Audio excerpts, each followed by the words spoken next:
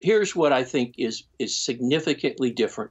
When I was running Chrysler, we were somewhat singularly focused on the banking situation that started to melt down. Uh, it caused a tremendous amount of pressure on the auto industry, for example. I got a call at nine o'clock one night and said, Bob, you cannot do any more lease arrangements. And that was 60% of my business, for example, in Canada.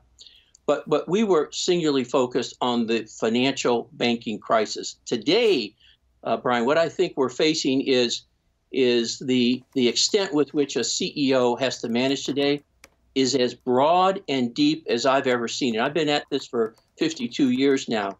And when you think about inflation, you think about supply chain, you think about the loss of labor, you think about massive re, uh, resignation and so forth. So the, the breadth of, of constituents that, that a CEO and a company has to try and satisfy, again, is as broad and as deep as I've ever seen it. And when you try to satisfy everyone, you end up satisfying no one. So the banking situation just adds another level of complexity.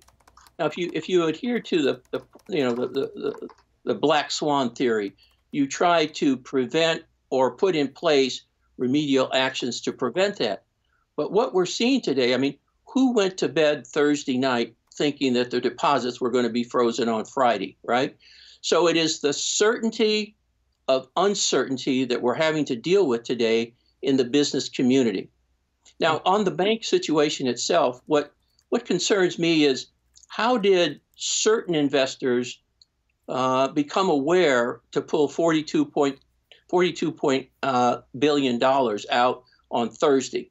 What what was the whisper, or how did they pick up on that?